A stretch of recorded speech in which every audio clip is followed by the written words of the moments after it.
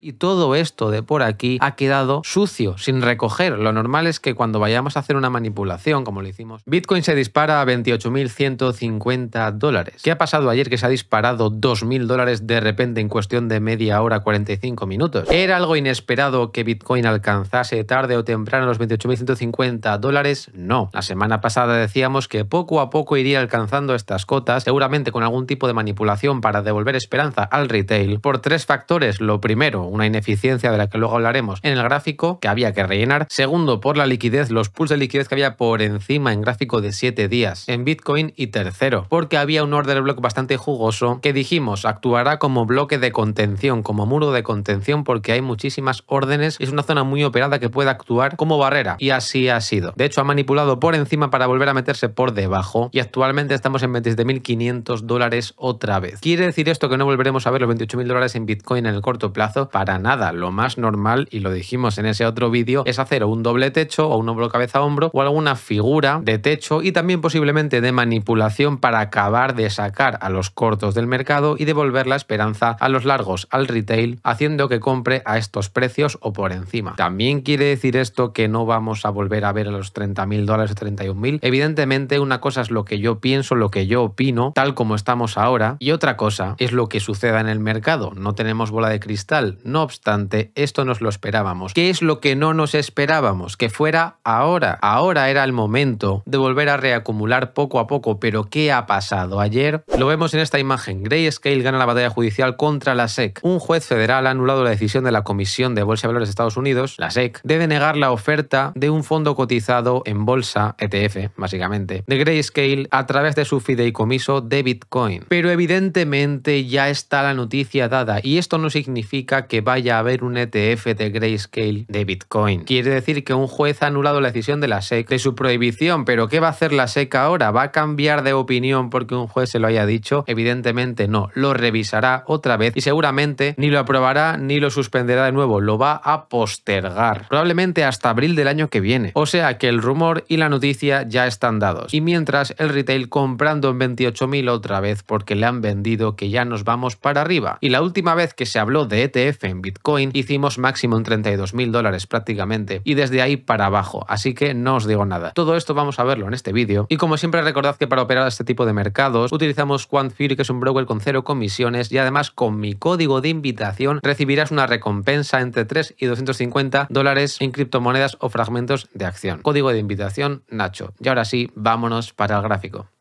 Como os decía antes, un juez federal ha anulado la decisión de la SEC de denegar la oferta de un fondo cotizado en bolsa, un ETF, de Grayscale de Bitcoin. El 29 de agosto, por parte de la Corte de Apelaciones de Estados Unidos para el Distrito de Columbia, el juez Naomi Rao respaldó la posición de Grayscale de que su propuesto ETF de Bitcoin era materialmente similar a los productos de futuros de Bitcoin aprobados por la SEC para su negociación. Pero lo más importante, el asunto regresará a la comisión, a la SEC para su revisión y le han tocado los cojones a la SEC y básicamente lo que va a hacer ahora es postergarlo lo más tarde posible, lo más posterior en el tiempo, porque lo puede hacer, al igual que los demás ETFs, el de BlackRock, Fidelity, etc, etc, etc, ¿vale? Esto ha hecho, y lo dijimos, y teníamos pintado este order block la semana pasada, llevamos con él pintado muchísimo tiempo en gráfico horario, que seguramente, como dice la miniatura de este vídeo, nos da una oportunidad para vender en estos niveles. Razón número uno, en este order block hay una zona muy operada. ¿Qué podría alcanzar estas cotas? Que si han actuado perfectamente perfectamente de muro de contención. Ha llegado hasta aquí y se ha dado la vuelta. De hecho, la ha manipulado un poco por encima, como estáis viendo, hasta llegar, como dijimos antes, a 28.150, más o menos 28.140 por estos precios, ¿vale? Ha tenido un primer impulso, corrige un poco y para acabar de sacar a toda la gente, un segundo impulso hasta estas cotas, ¿vale? Otras monedas como eh, Bitcoin Cash han subido mucho más, han subido un 17%, mientras Bitcoin solo ha subido, bueno, solo, quiero decir, comparado con Bitcoin Cash, ha subido un 8,5%, Bitcoin Cash el doble literalmente, ¿vale? Desde estos puntos el pescado ya estaba vendido, nos hemos dado la vuelta, hemos bajado el resto de la noche hacia cotas de 27.300 y aquí como teníamos un mini soporte, un mini retroceso que se dio a las 5 de la tarde, pues hemos hecho suelo ahí, ¿de acuerdo? Ahora parece que estamos haciendo un leve descenso para acabar de restabilizar lo que es la estabilidad en Bitcoin, en la cotización. Estamos retirando ganancias de todo lo que se ha acumulado por estas zonas, ¿no? Estamos en un periodo de corto plazo de distribución. ¿Quiere decir esto que vamos a hacer así hacia abajo? No, por favor, no. Ya estamos experimentados en este mercado. Lo más probable es que nos maree otra vez en estos puntos. ¿Por qué decíamos que podría alcanzar estas cotas? Lo decíamos al principio de este vídeo. El order block era una zona muy cotizada antes del desplome. De hecho, antes del desplome estuvo bastantes horas por estas zonas, por eso dijimos que era bastante probable que si llegaba hasta aquí, pararse aquí. Pero hasta esta zona tenía vía libre. ¿Por qué? Por esta ineficiencia que fue la que se tragó. Porque en cinco minutos teníamos aquí un imbalance, una ineficiencia. Ambos términos significan lo mismo en Smart Money Concept que había que rellenar. Y aparte, ¿qué teníamos más en el corto plazo? Una liquidez acumulada enorme en gráfico de 7 días y lo dijimos en ese vídeo, ¿no? Ahora evidentemente se han acumulado liquidaciones por encima en la zona de 28.550 porque mucha gente al ver que Bitcoin se paraba en estos puntos y sobre todo al ver retroceder a Bitcoin pues se ha puesto en corto. ¿Quiere decir esto que vamos a buscar estas liquidaciones? Puede ser que sí, puede ser que no, no lo sabemos. Cuanto más tiempo pasemos en estos puntos, más liquidaciones habrá cercanos al techo que acaba de hacer en esta zona de por aquí, ¿vale? Pero ¿dónde está el verdadero pool de liquidez que no se limpió por debajo? Y esto es lo que me toca en las narices, porque no se ha limpiado por debajo antes de manipular hacia arriba. Por lo tanto, esto no ha sido un movimiento limpio, esto no ha sido un movimiento que haya limpiado el mercado hacia abajo, manipular para luego ir hacia arriba. Por lo tanto, no es un movimiento institucional, ¿de acuerdo? Es un movimiento que ha dejado por aquí muchísima liquidez. Si nos fijamos, tenemos un mínimo, mínimo creciente, mínimo creciente, mínimos crecientes y todo esto de por aquí ha quedado sucio, sin recoger. Lo normal es que cuando vayamos a hacer una manipulación, como lo hicimos eh, en máximos, es hacer algún tipo de limpieza para luego ya comenzar a bajar, ¿de acuerdo? O cuando vamos a hacer una subida bastante importante en el corto plazo, limpiamos hacia abajo para luego ya mover en sentido contrario. Aquí no hemos visto eso, hemos visto un deterioro que se ha acelerado por la noticia fundamental, por el FOMO. El retail compra por el FOMO. Lo normal hubiera sido, si esto hubiese sido un movimiento institucional, era limpiar toda esta zona hasta 25.200 y aparte de limpiar, damos miedo al retail, al minorista, al inversor minorista, para luego expander hacia arriba. Esto es típico de Bitcoin, no ha sido así. Ha sido sucio y ha quedado esto por limpiar. Por lo tanto, creo que hay muchísimas probabilidades, muchas posibilidades de que veamos a Bitcoin a niveles de 25.800 en septiembre mismamente. Evidentemente, la bola de cristal la dejamos en casa. Estamos viendo lo que hay en el gráfico y no vemos nada más, ¿de acuerdo? Entonces, en el corto plazo podemos hacer muchas cosas. Podemos hacer un doble techo, podemos hacer un hombro cabeza a hombro y que la cabeza de esta formación nos lleve a limpiar los 28.500. Podemos hacer muchas cosas, ya que en esta zona hay otro order block muy importante. Por lo tanto, nada nos extrañaría, pero es que ahora no hay información todavía porque llevamos muy poco tiempo en esta zona, en este punto del gráfico. Si vamos a gráfico diario, que es bastante importante, estamos viendo que después de haber roto pues la directriz alcista, bajamos mucho y ahora hemos recuperado parte de lo perdido, de la caída. Vamos a trazar a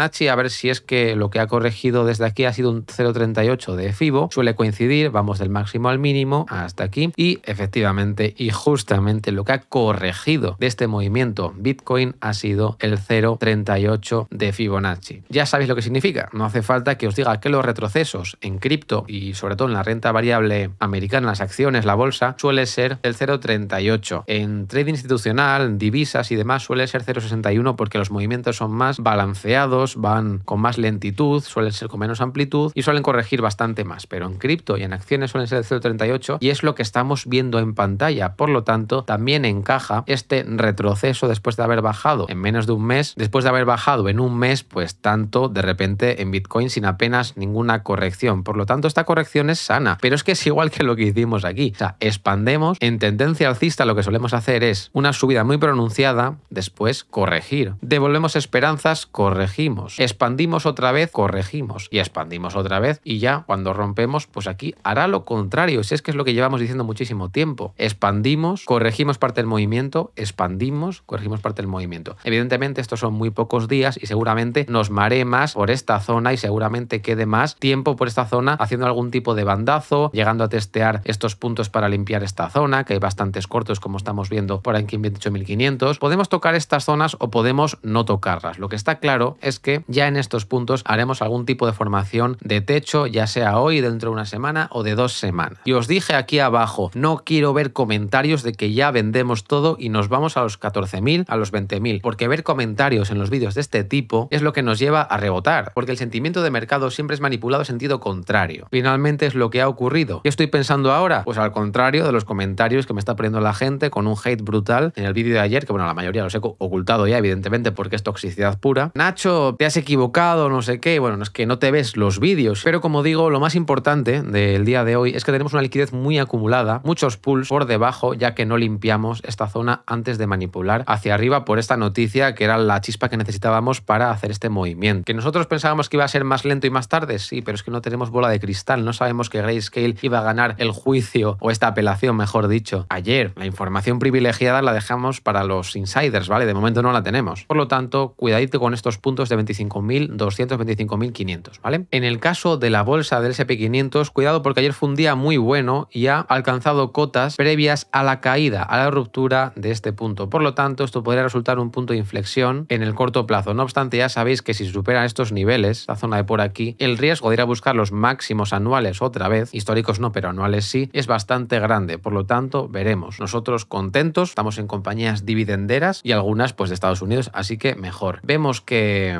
también ha ayudado ayer a Bitcoin a impulsarse, tanto la noticia de Grayscale como la subida de las bolsas. No obstante, esto no tiene sentido a nivel macro si lo comparamos con la macroeconomía, con los datos macro, porque primero, Estados Unidos cada vez con más probabilidades de subir 0,25 puntos la siguiente reunión de septiembre y sobre todo ya es lo más probable en noviembre. Vamos a verlo. Bueno, pues justo ha cambiado, hasta hace 10 minutos era lo más probable, ahora le acaba de adelantar por muy poquito, aunque ya veis que está mucho más arriba que la semana pasada, y acaba de adelantar la probabilidad de quedarnos en estos puntos, ¿vale? Pero están ahí, ahí. Cuidado que de aquí en noviembre podrían suceder cositas, ¿vale? Ya lo estáis viendo. Y mientras tanto, los estadounidenses siguen pagando, ahora sí, más del 50% de lo que perciben en la hipoteca. Por supuesto, en las hipotecas nuevas, las antiguas, las de renta antigua, pues no se ven afectadas, sobre todo los tipo fijo, pero las hipotecas nuevas y las hipotecas variables son las que se están viendo afectadas. Las hipotecas nuevas, los préstamos para coches nuevos, los préstamos para estudiar estudiantiles nuevos, todos los préstamos, los créditos nuevos son los que están contrayendo este tipo de gráficos, ¿vale? En el caso de Ethereum y el resto de criptomonedas ha sido lo mismo, tampoco vamos a perder mucho tiempo aquí. Ha alcanzado cotas que veíamos el 17 de agosto antes de la caída y por lo tanto se ha estabilizado en un piso superior al igual que Bitcoin, ¿vale? En el caso del DAX llega a esta zona que, bueno, es la zona de, techo más cercana que le queda, cuando hicimos este pullback a la línea rota y se da la vuelta bastante bruscamente hoy, así que cuidadito porque podríamos ver una reversión a estos puntos en el corto plazo. En cuanto al DXY, parece que está testeando la línea rota, esto es el dólar frente a otras divisas, ya lo sabéis, frente al franco suizo, el euro, la libra esterlina, la corona sueca, la corona noruega, etc, etc, ¿vale? Está testeando estos puntos y bueno, no creemos que vaya a ser una manipulación, un bull trap para meterse por debajo, sino oportunidades para comprar y volver a salir hacia arriba, porque el forex es más estable, digamos, que las criptomonedas y demás, pero bueno, todo puede ser, veremos. Y en cuanto al euro, un comportamiento mucho mejor, que sí que nos puede llevar a pensar que lo del dólar es más una trampa que otra cosa, pero tenemos que esperar, yo no lo creo. Estamos viendo un rebote en la zona en la cual ya rebotó pues hasta tres veces antiguamente esta línea de tendencia. Así que de momento bastante buen comportamiento del euro, es el resurgir del gigante y bueno, ya lo veremos porque cuando más claro se va a ver es seguramente hoy por la tarde, mañana. De momento son las 11 y cuarto de la mañana, madre mía, qué tarde estoy grabando hoy. Y en cuanto al petróleo, buenas noticias para las compañías petroleras porque ha roto este canal bajista que llevábamos desde principios de agosto, ha roto hacia arriba, primero hizo una manipulación hacia abajo para intentar marear y después ya rompió hacia arriba. Así que claramente y cada vez de forma más evidente, más verosímil, se va a los 88 dólares por barril el Brent y el West Texas. Y no te quito más tiempo, si te ha gustado este vídeo, por favor, un poquito más de tiempo de tu parte. Suscríbete, dale like y mírate mis tutoriales. Hasta luego chicos.